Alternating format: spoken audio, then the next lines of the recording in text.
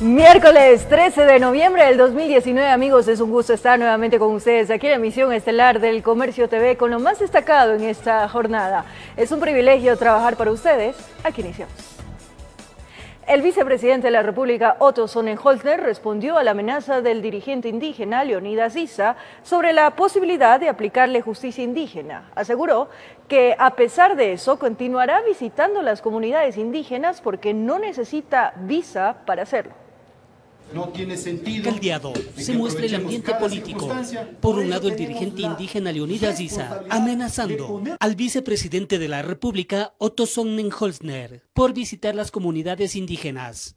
Al vicepresidente de la República, si sigue pretendiendo dividir, cuando las comunidades le hagan justicia indígena, no venga a lloriquear en la asamblea o en donde sea que le han hecho justicia indígena.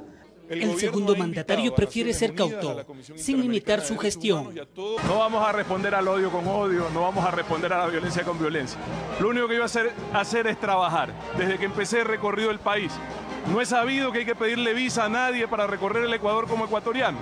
Seguiré visitando todas las comunidades, no solo indígenas, montubias, afros, de todo el Ecuador, que quieren dialogar, que quieren escuchar al vicepresidente, que quieren escuchar la verdad. Por otro lado, el alto mando militar, dispuesto a evitar que se repitan los hechos violentos de octubre. Eso sí, respaldados en lo que establece el mandato constitucional. Que no se equivoquen los violentos, que no confundan los grupos criminales asociados con el narcotráfico y la subversión, que no olviden los corruptos. Nuestras Fuerzas Armadas no lo van a permitir. Que se repitan asonadas que atenten contra la paz. Jaime Vargas, presidente de la Confederación de Nacionalidades Indígenas del Ecuador, CONAIE, al parecer, queriendo encender aún más del fuego. Nosotros no vamos a amenazar, nosotros actuamos. Y eso le ha sido frontal con nuestras acciones. Y si el presidente de la República y el comandante general de las Fuerzas Armadas quiere que o está buscando que pase como está pasando en Bolivia, no, una balacera desde helicóptero, si quiere que pase eso, es voluntad de ellos.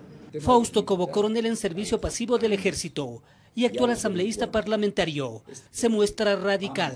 Ahora más que nunca, las Fuerzas Armadas, la Policía Nacional, la institucionalidad del país tiene que tomar la iniciativa. No puede estar a la defensiva de estos grupos violentos que han causado un inmenso daño al Ecuador.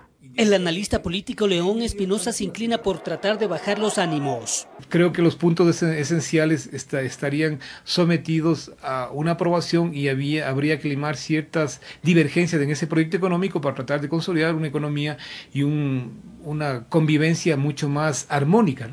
Informó Héctor Romero. La fiscal general Diana Salazar aseguró que hay audios donde se revelarían una posible participación de Paola Pavón y Virgilio Hernández durante las protestas, mientras que el contralor Pablo Celi dijo que el atentado a la Contraloría fue planificado. Estas declaraciones fueron emitidas en el marco de las comparecencias a la Comisión Multipartidista. La Comisión Multipartidista recibió este miércoles al Contralor General del Estado Pablo Celi y la Fiscal General Diana Salazar. Previamente con los legisladores de la mesa, recorrieron el edificio de la Contraloría siniestrado por las protestas. Creo que esto es un atentado contra el Estado en su conjunto. Celi aseguró que los manifestantes pretendían eliminar abundante documentación que albergaba en la Contraloría y dio detalles de lo que según él fue un atentado planificado. Si el primero era destruir documentos y el segundo era dejar a la Contraloría General del Estado sin instrumentos tecnológicos, sin infraestructura de trabajo, este tercero es más grave aún porque busca romper la cadena secuencial del proceso de control en lo que tiene que ver con los sustentos de auditoría. Fue el turno de la fiscal Diana Salazar, quien habló de procesos legales contra los dirigentes indígenas, entre ellos secuestro a varios funcionarios públicos. Donde los sospechosos son siete y se han practicado 14 diligencias investigativas y que corresponden a los hechos que fueron transmitidos a nivel nacional con la retención de funcionarios públicos y periodistas. También se investiga una denuncia contra tres asambleístas. Salazar evitó dar los nombres de los denunciados. por el delito de instigación que fue presentada por una persona particular en contra de tres asambleístas en funciones. Aquí aprovechó para referirse a Paola Pavón y Virgilio Hernández, ambos dirigentes del correísmo, procesados por rebelión durante el paro. Y es que hay pruebas para su detención, dijo. Dentro de estos audios se encuentra abundante información que da cuenta justamente de que las personas ahora procesadas habrían incurrido en esta conducta. Por los daños al edificio de la Contraloría se informó que hay 28 personas adultas procesadas. La comisión investiga los hechos ocurridos del 3 al 13 de octubre, informó Marilyn Jaramillo. El Tribunal de la Corte Provincial de Justicia de Pichincha negó el habeas corpus solicitada por la prefecta de Pichincha, Paola Pavón. La diligencia, que fue declarada como reservada, duró alrededor de una hora. Tras el debate, los jueces resolvieron que la prisión preventiva que pesa sobre la prefecta continúe vigente y que se mantenga internada en el Centro de Rehabilitación de Cotopaxi. Paola Pavón es procesada penalmente por el presunto delito de rebelión, que es penado con cárcel de 5 a 7 años, según establece el Código Orgánico Integral Penal. Y en el informe preparado por el Observatorio Ciudadano de Seguridad del Estado en torno a las manifestaciones en contra del decreto 883, concluyó que en esas jornadas el objetivo fue un golpe de Estado, mismo que se truncó cuando el primer mandatario accedió al diálogo.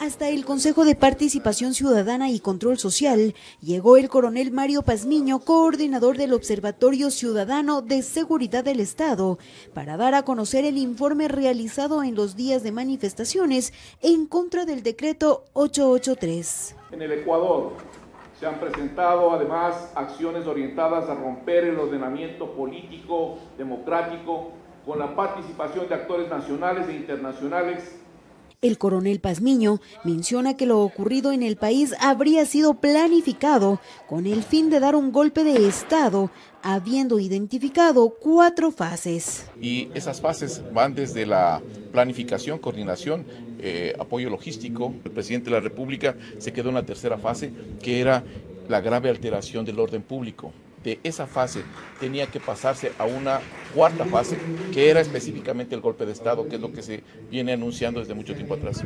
El supuesto golpe de Estado habría perdido su horizonte cuando el primer mandatario dialogó con los dirigentes. No se sienta a dialogar y ese diálogo es el que hace que fracase la cuarta etapa, que era prácticamente el golpe de Estado. En el informe presentado se manifiesta que debido a la inseguridad que se vivió en el país en aquellos días y con el fin de evitar que hechos así se vuelvan a repetir, el Observatorio Ciudadano recomendaría reestructurar la administración pública, motivar a la Fiscalía para que los delitos cometidos en las manifestaciones no queden impunes, entre otras promover la revisión del marco legal en vigencia para que la Policía Nacional y las Fuerzas Armadas dispongan de un instrumento legal que garantice el ejercicio de sus funciones de defensa y protección para contribuir a la seguridad integral de las personas y del Estado ecuatoriano. Informó Patricia Aldaz. Fueron calificados a trámites dos pedidos de juicio político en contra de la ministra de Gobierno María Paula Romo por supuesto incumplimiento de funciones frente a la crisis carcelaria y el uso indebido de bienes públicos. Esto por el escándalo del helicóptero policial. La ministra de Gobierno María Paula Romo deberá enfrentar a la Asamblea Nacional por dos peticiones de juicio político, cuyo trámite inicia luego de la calificación del Consejo de Administración Legislativa, en donde cuatro de sus siete miembros dieron el visto bueno. Ellos fueron Patricio Donoso, Ana Belén Marín, Rina Campaña y Cristina Reyes, mientras que el presidente César Litardo y los asambleístas César Solórzano y Carlos Cambala se abstuvieron en la votación. Ha sorprendido un poco las abstenciones, puesto que nuestra función no es dar valoraciones ni políticas ni subjetivas, sino verificar si se cumplen o no los requisitos para admitir a trámite los juicios políticos, en este caso contra esta funcionaria. Y una vez calificadas, ambas solicitudes de juicio político pasarán a la Comisión de Fiscalización, en donde se adelantó que para el tratamiento serán unificadas. En este caso, si la persona interpelada es la misma y si las causales eh, tienen relación, eh, que en este caso estamos hablando de un incumplimiento de funciones de acuerdo a lo que determina el artículo 131 de la Constitución, entonces nosotros creemos que es totalmente procedente unificar los dos procesos de enjuiciamiento político. Este jueves, la comisión conocerá las peticiones y aprobará el cronograma de trabajo de 20 días para realizar el informe que pasará al Pleno.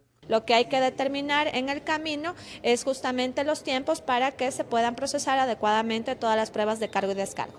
El primer pedido de juicio político fue interpuesto por los asambleístas Lourdes Cuesta y Roberto Gómez el pasado mes de agosto, en medio del escándalo por el uso personal que habría dado la ministra Romo a un helicóptero de la policía. En esta solicitud también se la responsabiliza por la crisis carcelaria y la inseguridad del país. Luego, el bloque correísta en voz del asambleísta Mapola Naranjo interpuso otro pedido contra Romo, señalando también la crisis carcelaria como una de las causales principales.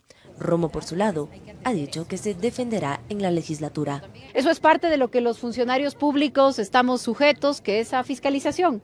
Con mucho gusto iré a la Asamblea. Yo lo he hecho en el pasado, lo voy a hacer ahora también en este trámite de juicio político y creo que además es un buen momento para poder extenderme en las explicaciones que están relacionadas a la violencia que vivió el país en este último mes. Informó Carolina Basante.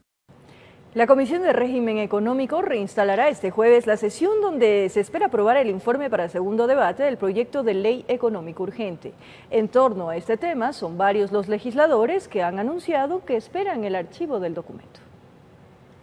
Este miércoles se tenía previsto que la Comisión de Régimen Económico envíe la convocatoria a sesión para que los legisladores aprueben el informe para segundo debate del proyecto económico urgente. Sin embargo, no fue hasta pasadas las 19 horas 30 que Daniel Mendoza, presidente de dicha comisión, llamó a reinstalarla el próximo jueves. Debido a esto, legisladores de diferentes bancadas pertenecientes a esta comisión dijeron estar claros que la sesión debía realizarse sin perder más tiempo pues el plazo para aprobar el informe para segundo debate del proyecto económico finaliza este domingo.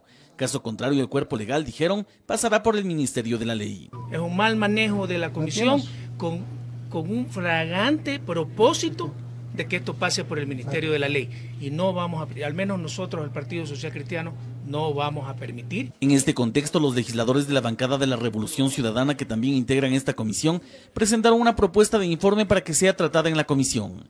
Ellos recomiendan el archivo del documento. Estamos presentando este informe que recupera varios criterios que se han eh, planteado en la misma comisión y que sugieren al Pleno de la Asamblea Nacional niegue de forma completa este, este proyecto de ley y por supuesto se proceda con el correspondiente archivo. Pero en horas de la mañana también existió un pronunciamiento apoyado desde diferentes bancadas para que el Ejecutivo retire el proyecto económico urgente. De errores de forma y de fondo, incluso públicamente el presidente de la República el día de ayer asumió uno de esos errores en lo que tiene que ver con las entidades gubernamentales y como esos hay varios dentro del texto legal Producto del supuesto aplazamiento para tratar el tema, también se tiene la iniciativa desde los integrantes social cristianos para apelar la presidencia del titular de la Comisión de Régimen Económico, Daniel Mendoza, informó Javier Rosero. En el ámbito económico, la proforma presupuestaria 2020 será tramitada por la Comisión de Desarrollo Económico en tan solo 19 días, que es el tiempo que resta para que se cumpla el plazo establecido por la ley. El presupuesto que el Ejecutivo plantea para el próximo año supera los 31 mil millones de dólares. A la Comisión de Desarrollo Económico llegó la proforma presupuestaria 2020 luego de 13 días de presentada por el Ejecutivo a la Asamblea. La decisión se tomó luego de considerar la carga de trabajo de la Comisión de Régimen Económico, que también debía tratar este presupuesto, pero que actualmente se encuentra ocupado en la Ley de Crecimiento Económico. Hay tres eh, miembros del CAL que son parte de la comisión, por lo tanto ellos también reconocieron la carga laboral y de trabajo que tiene la comisión y que era lo correcto enviarla a la Comisión de Régimen Económico para que pueda ganar días, es decir, que la Comisión de Desarrollo Económico ya pueda convocarse el día de mañana. Ahora el trabajo de la Comisión de Desarrollo será contrarreloj. Esta mesa legislativa ya se programa cómo irá desarrollando el informe. Mañana está convocado a las 11 de la mañana para abocar conocimiento oficialmente de aprobar el plan de trabajo, aprobar el cronograma y nosotros obviamente tenemos 10 días eh, con el fin de que, que vengan a hacer las comparecencias. Primero. Dentro del cronograma se requerirá las comparecencias de autoridades del Estado, pero también de actores involucrados en el presupuesto y que se sienten perjudicados en la asignación de recursos. El Ministerio de Finanzas, Estudios de Rentas Internas, el Ministerio de Energía y Recursos Naturales No Renovables, pero también vamos a, pedir pues, que, comparecen, que comparezcan, por ejemplo, las universidades a que presenten sus inquietudes y otros sectores. Todo esto se deberá solventar en tan solo 19 días, que es lo que sobra del plazo dado por la ley para que la Asamblea trate y en un solo debate apruebe el presupuesto estatal. Caso contrario, ingresará tal cual el Ejecutivo propone, a través del Ministerio de la Ley. Informó Carolina Basante. El Ministerio de Salud publicó la lista de especialidades que se requieren tras el fin del convenio entre Ecuador y Cuba. El Colegio de Médicos de Pichincha asegura que los profesionales ecuatorianos están capacitados para cubrir la mayoría de las plazas. Luego que el gobierno anunciara la terminación del convenio de salud entre Ecuador y Cuba, con lo cual se liberaron cerca de 400 plazas de especialidades médicas para profesionales ecuatorianos, el Ministerio de Salud, a través de un comunicado oficial, convocó a los profesionales en las áreas que se requieren. Estas son fisiatría, oftalmología, imagenología, angiología y epidemiología. Aquello es visto con buenos ojos por parte del presidente del Colegio de Médicos de Pichincha, Víctor Álvarez. Eh, no solamente son especialidades, también son eh, eh plazas conformadas por técnicos, tecnólogos, en la cual nosotros en alguna medida sí estamos preparados pero no en toda la totalidad. Señala que no es un secreto para nadie que Ecuador tiene un déficit de médicos especialistas, por lo cual comprenden que las especialidades que no puedan ser cubiertas por ecuatorianos deban ser ocupadas por extranjeros, para lo cual sostiene el proceso debe ser transparente y normado por la ley. Bajo una modalidad de un concurso y que aquellos médicos que vayan a cubrir esas plazas sean nacionales o sean extranjeros, cumplan los requisitos de méritos y oposición para dar a la población atención de calidad con médicos calificados y profesionales calificados. Pero más allá de ello, este déficit para Álvarez debe ser subsanado de fondo con un proceso de formación para que estas plazas a futuro sean cubiertas en su totalidad por médicos ecuatorianos. La oferta de los posgrados tiene que ser adecuada en ese sentido. Se debe ofertar los posgrados que ya no los, los clásicos como cirugía, pediatría, anestesiología, sino aquellos posgrados que la población necesita. En este marco, ante la preocupación de que mientras estas plazas sean ocupadas, la atención pueda ser suspendida, la ministra de Gobierno, María Paula Romo, aclaró. Entonces, el primer paso es hacer un llamado para que se llenen las plazas, para que se llenen las vacantes y que en ningún momento el fin de estos convenios signifique que haya lugares que se queden sin un especialista que ya estaba en ese lugar o que tenía atenciones programadas. En Quito informó Adriana Rojas. Ahora les contamos que los maestros jubilados dicen aún no recibir el pago de sus compensaciones jubilares debido a la burocracia encontrada en el Ministerio de Educación, que es la instancia encargada de elaborar sus carpetas para luego pasarlas al Ministerio de Finanzas. Piden la comparecencia en la Asamblea Nacional de la ministra de Educación, quien se ha ausentado por dos ocasiones. Por segunda ocasión, la Comisión de Participación Ciudadana, presidida por el asambleísta Raúl Tello, convocó a comparecer a la ministra de Educación, Montserrat Kremer, y por segunda ocasión no asistió. El objetivo de citarla era exponer los problemas que han tenido varios maestros jubilados para armar las carpetas y con ello recibir el pago de sus compensaciones jubilares que estaban pendientes. Hemos eh, ratificado algunas preguntas que lo hemos realizado por escrito y que tampoco hemos recibido respuesta de la señora ministra. Nos hizo llegar una comunicación en el sentido de que delegaba al subsecretario Vinicio Vaquero para asistir a la comisión. Eh, eh, inasistió también. A pesar de que en agosto se detalló un plan de pagos por parte del Ministerio de Finanzas, a decir de los maestros jubilados, muy pocos han podido beneficiarse del acuerdo. Está pendiente 650 familiares de nuestros compañeros fallecidos. Está pendiente eh, 2.500 maestros jubilados, 15, 16, 17. Están pendientes 4.000 maestros jubilados desde mayo del 17 al 19 y ya vienen los jubilados del 2020. La mayoría explican se han encontrado problemas en el Ministerio de Educación. En algunos casos, por ejemplo, las carpetas con sus documentos se han extraviado. O en otros, los documentos que se solicitan nacionales son imposibles de conseguir. Se acerca la compañera a preguntar y le dicen, no sé qué habrá pasado con su carpeta. ¿No? A mis compañeros del 2008 le están pidiendo eh, el certificado de que no han sido sancionados hace 12 años. Tras la sesión que se llevó a cabo sin ningún representante del Ministerio de Educación, se resolvió que si la ministra no se presenta en una tercera ocasión, se le iniciará el proceso para un juicio político. En Quito informó Andrea Orbe. Representantes del pueblo Sarayacu presentaron en la Corte Constitucional una demanda por incumplimiento. Esto porque han pasado siete años y no se ha puesto en marcha lo dispuesto por la Corte Interamericana de Derechos Humanos en relación a la actividad petrolera en su territorio. Fue en junio del 2012 que la Corte Interamericana de Derechos Humanos dictó una sentencia a favor del pueblo indígena de Sarayacu. Han pasado siete años que en el transcurso de ese tiempo la, sentencia de la Corte Interamericana de Derechos Humanos aún sigue con sentencias incumplidas en su totalidad. Miriam Cisneros del pueblo Sarayacú hizo referencia al no retiro de los explosivos colocados en su territorio por parte de una empresa argentina o a su vez la neutralización de los mismos, así como la no realización de una consulta previa antes de empezar nuevos proyectos petroleros en su territorio. Esto no es solamente caso Sarayaco. Igual está pasando en Sinagoe, la comunidad de la nacionalidad Cofán, en la provincia de Sucumbíos. También caso Chevron Texaco, que falló a favor de las nacionalidades quienes vienen luchando por más de 26 años. Por el caso Sarayaku acudieron a la Corte Constitucional. Lo que vamos a interponer el día de hoy es una demanda por una acción por incumplimiento. Conforme a lo que prescribe la Constitución, nosotros podemos acudir a la Corte Constitucional y reclamar el incumplimiento de la sentencia de la Corte Interamericana. Informó Héctor Romero. Momento de nuestra primera pausa aquí en la emisión estelar del Comercio TV. Más adelante, una pequeña de nueve años habría sido abusada sexualmente por su propio progenitor. Esto sucedió en Tulcán. Además, en el sector del Guasmo Sur, en Guayaquil, fue detenido un sujeto acusado del presunto delito de pornografía infantil. Los detalles en breves minutos.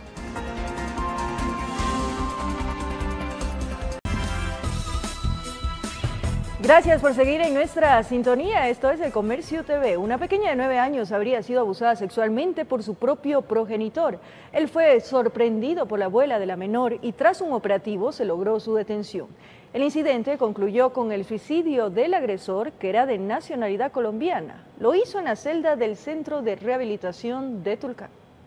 La tranquilidad de la pequeña Daisy F. de nueve años de edad terminó al ver llegar a su padre Héctor F. de nacionalidad colombiana en supuesto estado etílico. Aparentemente no habría sido la primera vez que buscaba estar con la niña de manera sexual. Fue su abuela, María Cuasput, de 61 años, quien se percata de gritos que provenían del dormitorio. Al ingresar, se encuentra con la escena desgarradora. La pequeña yacía en el suelo aparentemente sin ropa interior, mientras Héctor buscaba acomodarse los pantalones. Al ser sorprendido, salió huyendo habría sido sorprendido en el mismo instante que habría pretendido eh, realizar eh, una violación sobre la menor de edad.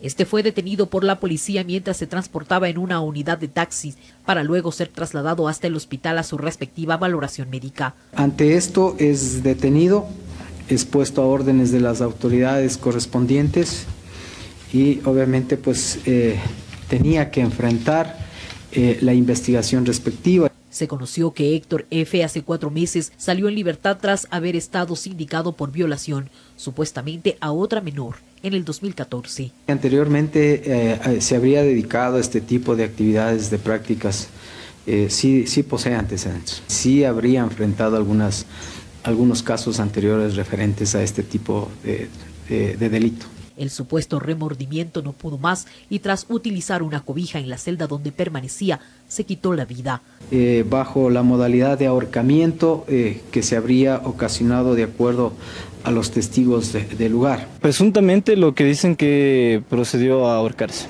Dimos casi para hacer ocho ciclos de RCP y pues nosotros nos dimos cuenta que el paciente no reaccionaba. Imágenes de José Cedeño desde Tulcán informa Miriam Enríquez. En el sector del Guasmo Sur, en Guayaquil, fue detenido un sujeto acusado del presunto delito de pornografía infantil. Aparentemente sería el encargado de la producción, almacenamiento y venta de los videos y fotografías.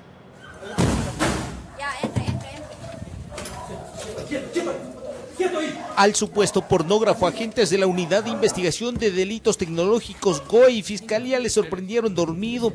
Al parecer jamás imaginó que sus supuestas acciones, donde utilizaba niños, niñas y adolescentes de ambos sexos, eran seguidos sigilosamente. Hablan que se dedicaba a fotografiar y filmar a menores de edad prácticamente desnudos. Hace casi cuatro meses se abre una indagación y se realiza el seguimiento a una IP el sospechoso reclutaba a los menores con engaños, aparentemente ofreciendo pagos mínimos por trabajos de modelaje, pero en realidad lo que buscaba era conseguir registrar a los hombres y mujeres en videos y fotografías que luego eran vendidas supuestamente a contactos nacionales e internacionales. Se puede conocer en primera instancia eh, los eh, beneficiarios de estos videos, estas fotografías, los clientes, podríamos llamar así, de la persona que está dedicada a esto. La policía ecuatoriana coordina con sus similares en Estados Unidos, El Salvador, Paraguay, Brasil y Panamá en busca de determinar si a esos países llegó el material pornográfico que supuestamente era transmitido a través del uso de medios tecnológicos con los eh, medios tecnológicos que él utilizaba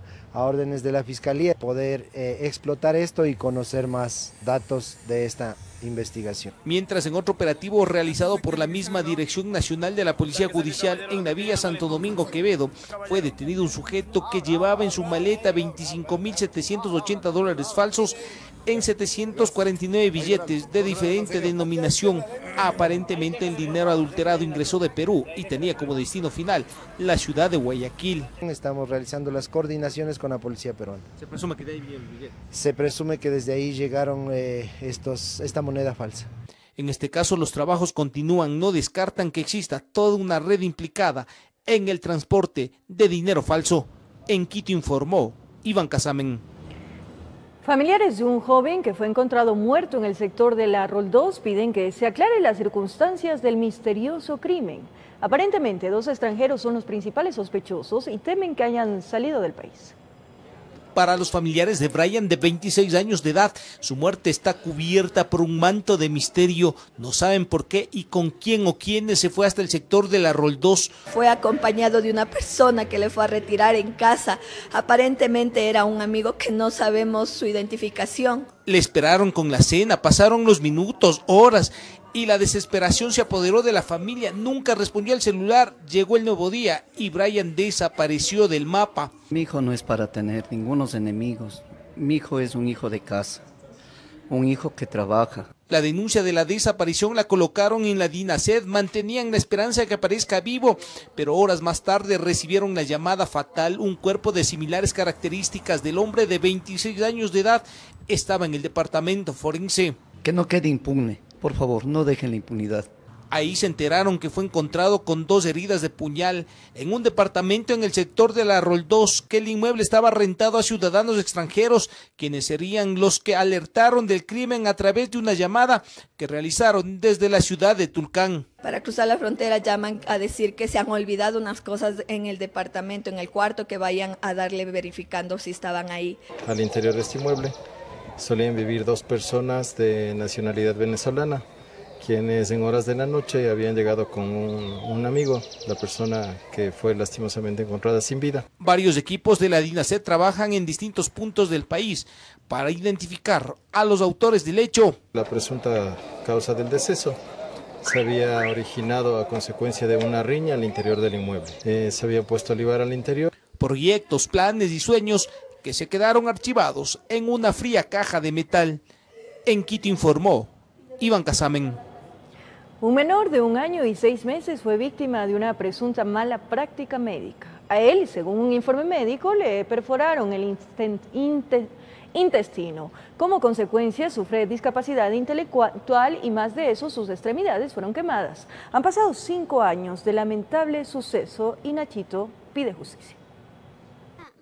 La vida de Nachito cambió desde aquel 27 de noviembre de 2014, cuando ingresó al hospital Carlos Andrade Marín para ser sometido a una cirugía laparoscópica por ausencia testicular.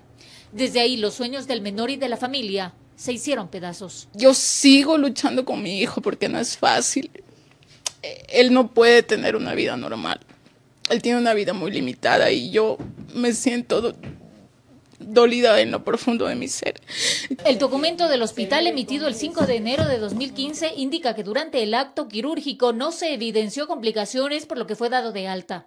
Luego se señala que el paciente reingresa con un cuadro de sepsis de origen abdominal 19 horas después del procedimiento quirúrgico. Fue ahí donde se comprobó en nuevo procedimiento quirúrgico que se trataba de una perforación intestinal.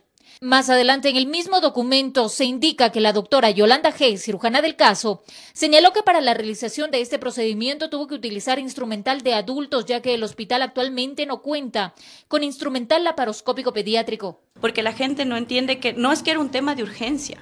Si es que el hospital no tenía ese instrumental de niño, bueno, se podía esperar. No era una urgencia que se tenía que atender. Se destruyó la vida de un niño y de una familia. Pero la desgracia del menor apenas comenzaba. Su cuerpo colapsó producto de una fuerte infección intestinal, produciéndose una hipoxia cerebral, provocándole una discapacidad intelectual del 38%. En el documento se informa además que el niño fue sometido a una segunda intervención intestinal en el mismo hospital, realizada con éxito, pero fue llevado a terapia intensiva en condición crítica. Ahí, debido a las bajas temperaturas que presentaba, optaron por colocarle compresas calientes debajo de las piernas del paciente y el resultado fue este. El niño, a más de habérsele perforado el intestino y causarle un daño cerebral irreversible, estaba con quemaduras de hasta segundo grado. Que mi hijo necesitó autoinjertos de su piernita derecha, que es la donadora. Le sacaron la pielcita de él para ponérsela en las quemaduras que, reitero, son profundas. Inclusive en, en el taloncito del pie derecho tiene, es como si le faltara una parte del talón porque casi llega al hueso la quemadura. Hoy Nachito tiene seis años y siete meses. Sus piernas muestran la magnitud de las quemaduras.